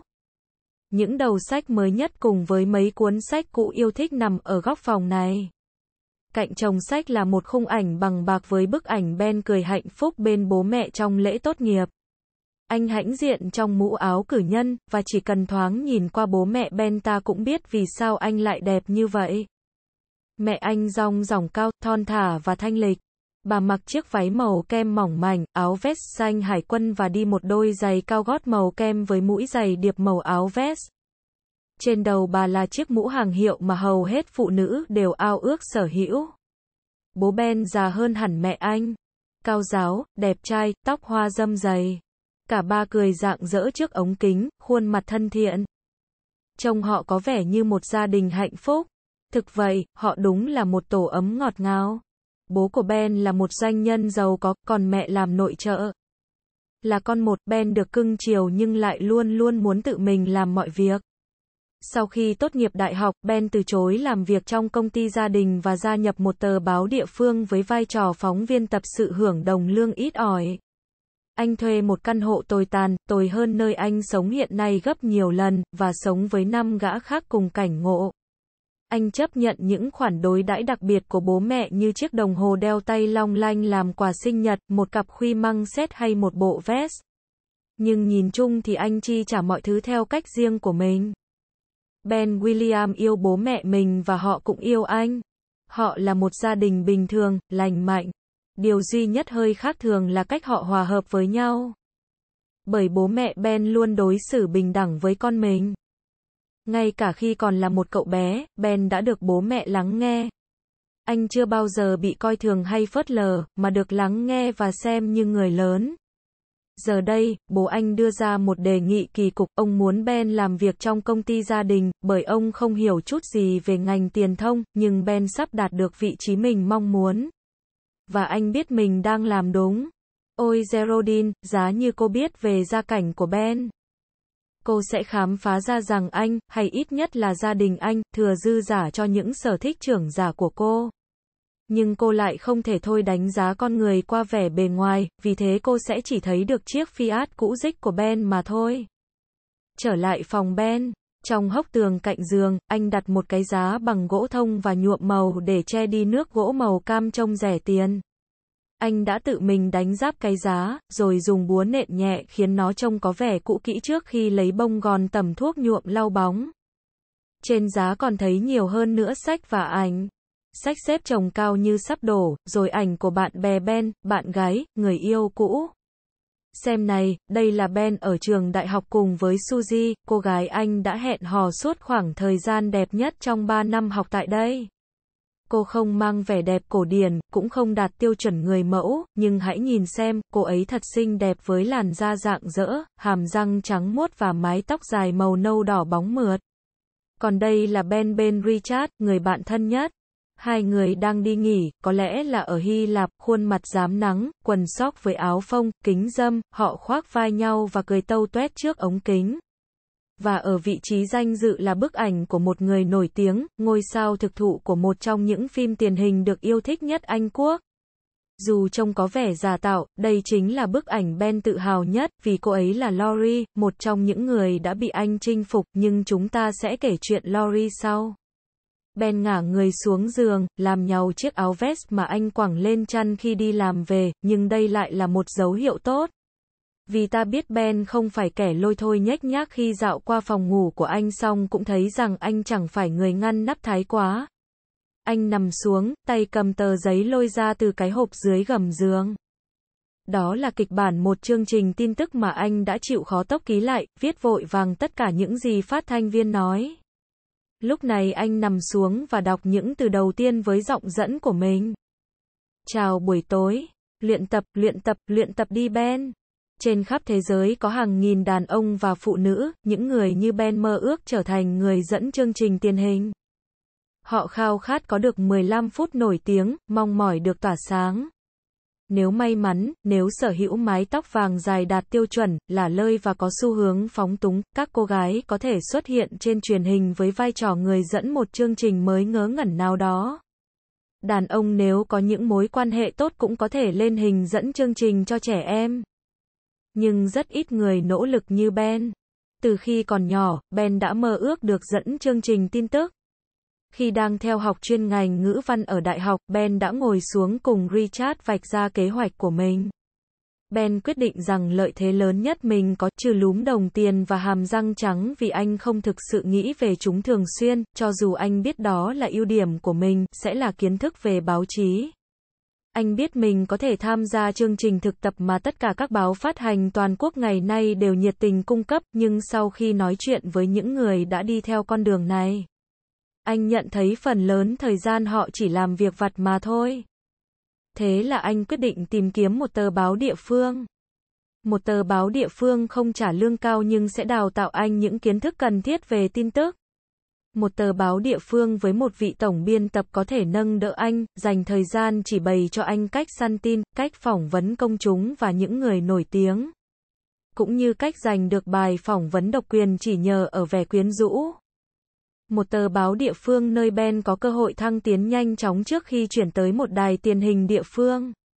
Và từ đài tiền hình địa phương, anh sẽ bước chân vào mạng lưới tiền hình anh sẽ trở thành phát thanh viên chính. Anh sẽ dẫn chương trình tin tức. Thú thật, ở tuổi 29, sự nghiệp của Ben không thăng tiến như anh dự tính, tuy nhiên anh đang đi đúng hướng và anh dự cảm, một cách chính đáng, rằng đổi thay đang đến với mình. Dĩ nhiên anh không nói với tổng biên tập của Cuban Hero bất kỳ kế hoạch nào của mình khi đến phỏng vấn. Anh ngồi đó, nói với tổng biên tập anh là nhà báo, anh thích báo chí và yêu Cuban Hero vì Ben đã chuyển tới Cuban với mục đích đặc biệt là vào làm việc cho tờ Cuban Hero. Anh quyết định đó sẽ là nơi tạo nên sự thay đổi, và rằng anh mong muốn làm việc cho Cuban Hero nhiều năm rồi. Anh nói với tổng biên tập rằng anh vui lòng khởi nghiệp với vai trò phóng viên tập sự, nhưng một lúc nào đó, trong tương lai không xa, anh sẽ trở thành trưởng ban biên tập tin tức. Và tổng biên tập, một con người khá tự phụ và ngốc nghếch, đã được Ben tâng bốc và bị thuyết phục bởi nụ cười và lúm đồng tiền của anh. Nhưng ông ta không đến nỗi ngốc nghếch như thế. Ông ta nhận ra ngoại hình bắt mắt của Ben sẽ tác động thế nào đến những người được anh phỏng vấn. Và quả vậy, ngay từ ngày đầu tiên, Ben và chỉ Ben mà thôi là phóng viên mang đến những câu chuyện mà độc giả muốn. Tương lai của anh đã bắt đầu. Ben đang đi trên con đường của mình. Và lúc này, trong căn hộ cho thuê rộng rãi trên một con phố lớn với những hàng cây xanh hai bên đường ở Cuban, Ben đặt tờ giấy xuống và ra khỏi giường. Một cái liếc qua gương cho biết trông anh khá ổn, chẳng phải tối nay có chuyện gì quan trọng, chỉ là cánh đàn ông ở quán rượu địa phương thôi mà, nhưng bạn không biết chắc được. Biết đâu đấy. Chương 5, nghe chọn bộ tại mê audio com có lẽ đã đến giờ ăn trưa nhưng Jemima John vẫn ngồi bên bàn làm việc, tự hỏi làm thế nào để tìm ra cách xử lý những chân nến đất nung lèn chặt sáp khi nến đã cháy hết. Nàng có thể chỉ cần gọi đến hỏi một cửa hàng nến, như thế đương nhiên sẽ dễ dàng hơn, chưa tính đến việc nó còn nhanh hơn là vào mạng. Nhưng nàng muốn thử dùng Internet để xem liệu mình có thể tự xoay sở không? Nàng nháy đúp vào biểu tượng trên máy tính rồi kích chuột vào Connect, lắng nghe máy tính quay modem và nối mạng. Và đây, mạng thông tin toàn cầu đang ở ngay dưới đầu ngón tay nàng. Nàng nên vào trang nào trước đây? Nàng nên làm gì đây? Này, ứng dụng nhanh đấy. Tôi quay lại và dĩ nhiên đó là Ben, áo vest đã cởi ra, tay áo sắn lên, lúm đồng tiền trên má. Em chỉ xem mình có tự làm được không thôi mà. Anh cũng định thử mãi, nhưng không có thời gian. Em không ngại nếu anh ngồi cùng chứ. Ngại, ngại, anh ấy điên chắc. Em sẽ làm tất cả để được ở bên anh mà Ben. Em sẵn sàng chặt cả cánh tay phải của mình nếu điều đó khiến anh ở bên em. Tất nhiên là không rồi, sao anh không kéo ghế ra đây? Ben kéo chiếc ghế xoay lại ngồi gần tôi, tôi chưa bao giờ nghĩ mình sẽ có lúc nói điều này, nhưng sự gần gũi gần như quá mức khiến tôi thấy không thoải mái lắm. Chắc chắn là quá gần nếu muốn thở một cách tự nhiên. Tôi có thể cảm nhận được hơi thở ngắn và mạnh của mình, nhưng Ben lại không hề để ý. Anh thậm chí còn không nhận ra tôi đã vô tình nín thở như thế nào khi anh đặt tay lên tay tôi và kích chuột vào Internet. Em đang tìm gì vậy? Anh hỏi, mắt vẫn dán vào màn hình. Không có gì đặc biệt cả, tôi nói dối. Chỉ xem thôi. Mọi người đi ăn chưa hết rồi à? Tôi nhìn quanh những chiếc bàn trống, lắng nghe tiếng điện thoại reo mà không ai nhấc máy rồi quay lại nhìn Ben. Em nghĩ thế, nơi này như đã chết rồi ấy. Tốt, anh quay sang tôi, nháy mắt.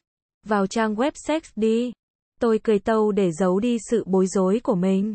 Không phải tôi không muốn xem những trang web đó, mặc dù tôi chẳng bao giờ dám thừa nhận, tôi chỉ không muốn xem chúng khi ngồi cạnh Ben, nhưng điều đó sẽ giữ anh ở đây một lúc, vì thế cứ mặc kệ đi. Anh mới viết một bài về chuyện trẻ con tải hình khiêu dâm từ Internet vào đĩa và bán ở trường Thánh Ursula. Để xem rốt cuộc chuyện này là như thế nào, Ben thờ ơ nói, nhưng tôi chắc đó chỉ là một lời bao biện cho việc muốn xem những trang web sex. Trường Thành Ursula là một trường trung học công lập địa phương tai tiếng đến nỗi, thỉnh thoảng khi đi qua đó vào lúc tan học tôi phải băng qua đường hay tốt hơn là tìm một đường khác. Nó không hẳn tồi tệ như một công trường xây dựng nhưng cũng gần như vậy. Gần như vậy, Ben đang hết sức tập trung vào màn hình, còn tôi thì mỉm cười. Thánh Ursula cơ đấy. Chắc anh cho rằng em là con ngốc hả Ben, nhưng dù sao cũng là một lời bao biện hay. Tôi phải thừa nhận mình không thể nghĩ ra một lý do như thế. Làm thế nào tìm ra? Tôi hỏi, vẻ ngây thơ hơn bao giờ hết. Có chúa mới biết, cứ thử tìm xem thế nào. Ben kích chuột cho đến khi một hộp nhỏ trên màn hình hiện lên chữ search.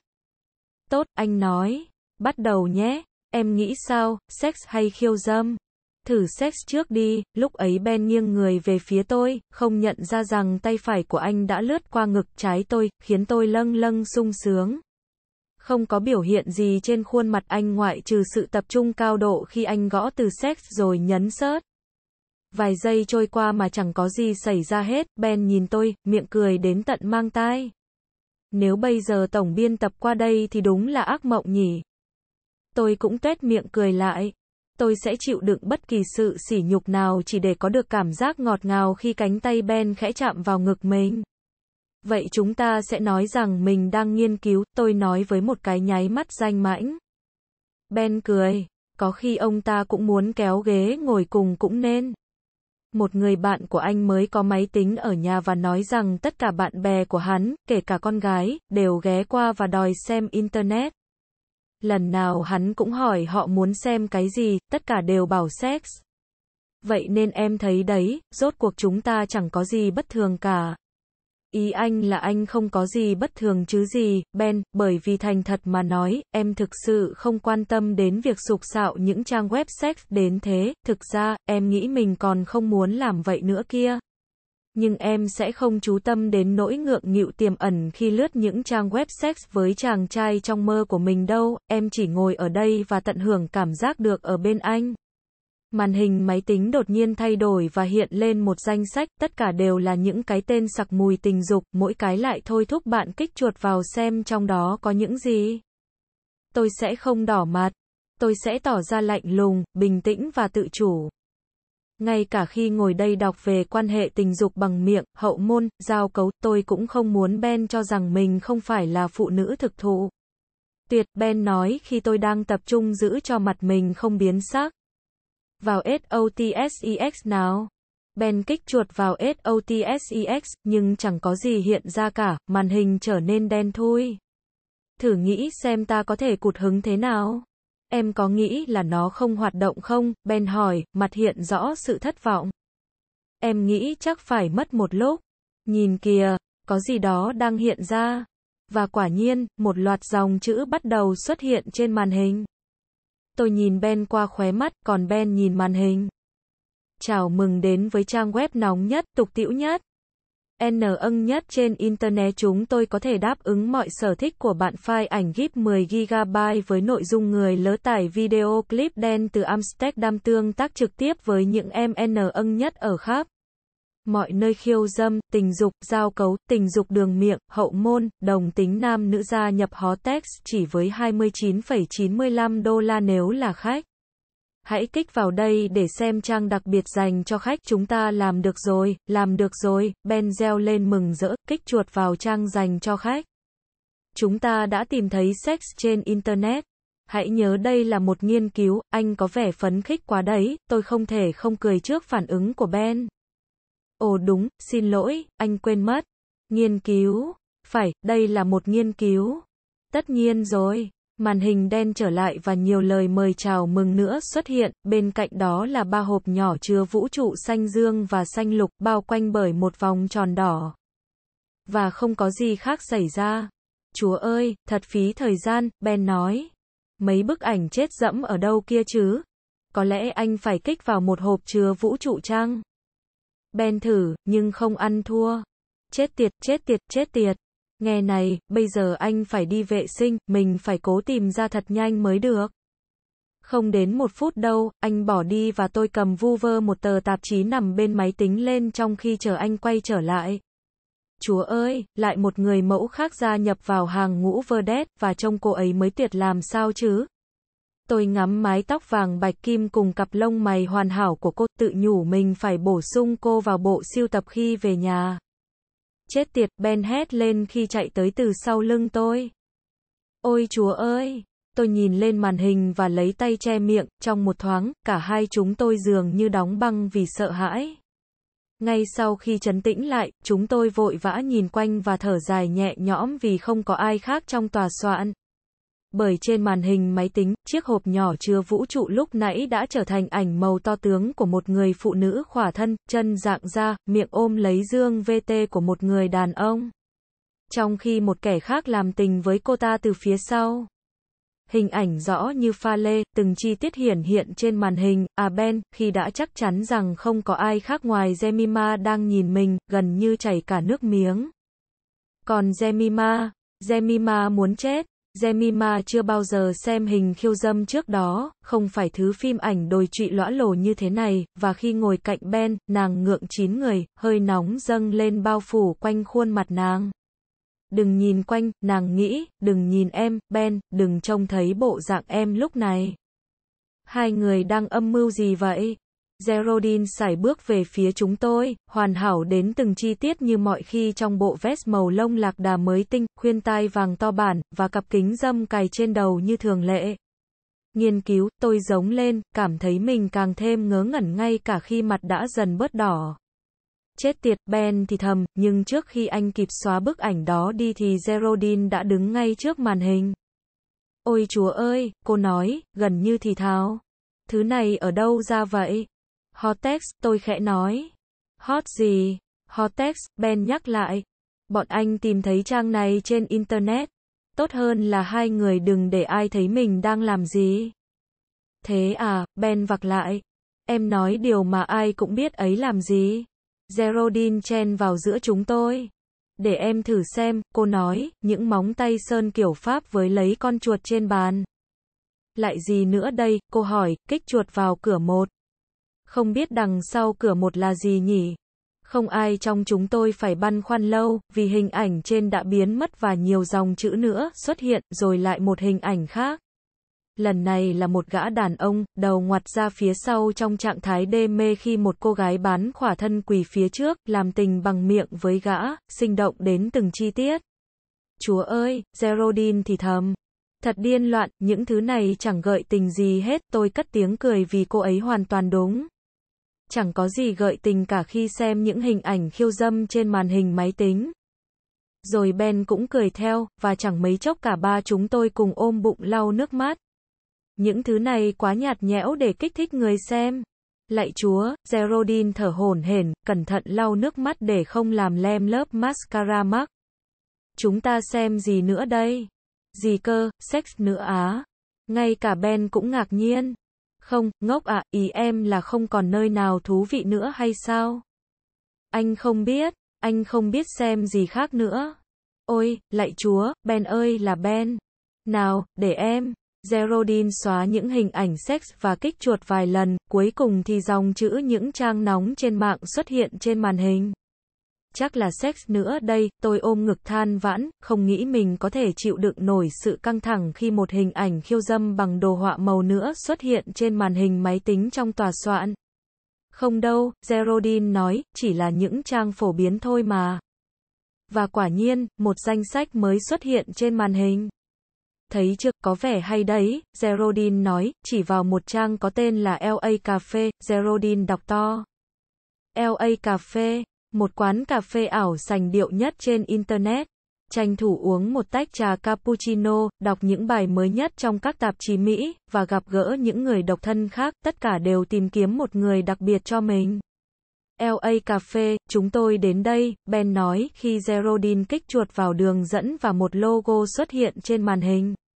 LA Cafe trang web hấp dẫn nhất cho những người độc thân thực sự mang đến những tách cappuccino bạn tìm kiếm cả cuộc đời. Chúng ta phải đăng ký nhưng hoàn toàn miễn phí, Geraldine nói. Kích vào biểu tượng đăng ký. Một hộp nhỏ xuất hiện, trên đó ghi tên. K-I-L-B-U-A-N Hero. Thôi quên đi, cô nói, chúng ta sẽ chẳng kiếm được gì hay ho với cái tên Cuban Hero đâu. Chọn tên gì bây giờ nhỉ? Ba người lính ngự lâm được không? Ben đề nghị, lúc này trông anh thật sự hào hứng.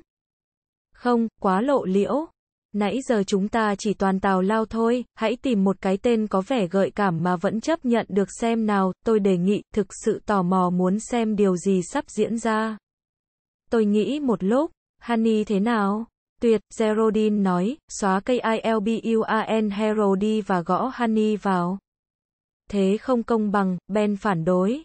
Nếu chúng ta đăng nhập với tên Honey thì làm sao người ta biết trong đó có đàn ông? Anh làm quen với phụ nữ thế nào đây? Yên nào, Gerardine nói, quá muộn rồi, và thế là xong. Chúng tôi đã gia nhập LA Cafe, hay nói đúng hơn là Honey gia nhập LA Cafe. Bây giờ mình làm gì? Tôi hỏi sau khi chúng tôi ngồi đó đến vài phút, chằm chằm nhìn vào logo trang web trong im lặng. Sao không kích vào hộp thư bên cạnh? Được, Geraldine nhún vai kích vào hình ảnh ba cái đầu đang trụm vào nhau. Một chiếc hộp đề những người đang online chợt hiện lên màn hình với hàng đống tên. Suzy 24 bằng mũ. Mũ bằng cascot Sirhani bần bất bạch Lisa ngọt ngào. Ricky Brett, Santa Monica, Geraldine đọc mấy cái tên. Chà, không hiểu tim đang làm cái quái gì trong LA Cafe nếu anh ta ở London nhỉ? Chắc giống chúng ta, Ben cười. Thử tìm hiểu xem, cô kích chuột vào và ngay lập tức một hộp khác xuất hiện trên màn hình. Chiếc hộp được chia làm hai, nửa trên là, còn nửa dưới nhỏ hơn là Honey. Chào đồng hương London, Geraldine gõ, chữ hiện lên trong hộp nhỏ bên dưới. Anh làm gì ở LA Cafe vậy? Cô ấn gửi, chữ biến mất khỏi nửa hộp dưới và xuất hiện lại ở phía trên cho đọc. Tất nhiên là để làm quen với những cô em California ngọt ngào. Sao em ở đây? Em chỉ xem thôi. Tìm vài anh chàng California cao to. Anh có gợi ý gì không? Lon, để anh nghĩ đã. Geraldine quay sang Ben. Lon là gì? Chịu, anh nói. Hỏi hắn đi. Lon nghĩa là gì? Láp ao lao cười to. Em không quen à, lần đầu tiên biết. Còn mẹo nào nữa không? Còn chứ, nghĩa là vui vẻ, nghĩa là buồn, mặt nháy mắt, nghĩa là nháy mắt, nhưng V kép cũng có nghĩa như vậy, G là cười tâu tuét, S là mỉm cười, còn AOFL là roll on the floor laughing cười bò ra sàn. Cảm ơn, Geraldine gõ. Mặt nháy mắt, chúa ơi, tuyệt thật, tôi thực sự kinh ngạc. Cả một thế giới ngôn ngữ khác. Tớ thử được không? Geraldine nhường chuột cho tôi và tôi múa tay rất nhanh trên bàn phím. Vậy anh đã tìm được cô nàng California trong mơ của mình chưa? Rồi, đang nói chuyện với cô ấy đây. Suzy, tóc vàng, 24 tuổi, thân hình săn chắc và thực sự là một cô em xinh đẹp. Làm sao mà biết được cô ấy không nói dối anh? Cô ấy nói là sẽ gửi ảnh cho anh qua email. Em hy vọng là cô ấy không nói dối. Chúng ta sẽ sớm biết thôi. Thế em ở khu nào của London? Tôi quay sang Ben và Geraldine, nhăn mặt. Không thể nói kêu bần được, quá quê mùa. West Hempstead đi, Geraldine bảo, cứ nói tạm thế. Tôi làm theo và gõ West Hempstead. Wow wow wow, đáp lại, anh ở Kilburn. Cả ba chúng tôi cùng phá lên cười. Chào Honey, đằng ấy bao nhiêu tuổi? Câu hỏi được gửi từ tót đột ngột xuất hiện trên màn hình, thế là tôi bỏ mặc cuộc nói chuyện với tôi gõ 27, nhưng Geraldine đã ngăn tôi lại ngay khi tôi chuẩn bị nhấn gửi để trả lời tót. Đừng nói 27, cô thuyết phục. Cậu không cần phải nói thật chuyện này đâu. Bảo anh ta là cậu 19 tuổi, tôi nghe lời Geraldine, nhận ra rằng cô hoàn toàn đúng. Tôi không cần phải nói thật trên Internet. Về bất cứ chuyện gì. Đúng số tuổi anh thích. Anh bao nhiêu tuổi? 32. Hơi già so với em đúng không? Em biết người ta nói thế nào về những người đàn ông lớn tuổi hơn mà, vâng. Rằng tốt hơn họ không nên tán tỉnh những cô em 19 tuổi, tôi nhấn gửi và thêm biểu tượng. Vào để tót biết rằng tôi đang đùa. Tôi không muốn làm anh ta bực mình. Đúng ra là chưa muốn. Ôi, không công bằng. Xin lỗi anh, nhưng cho em biết người ta nói gì về những người đàn ông lớn tuổi hơn đi. Già hơn, khôn ngoan hơn, từng trải hơn. Trong mọi chuyện, Geraldine cười ngặt nghẽo.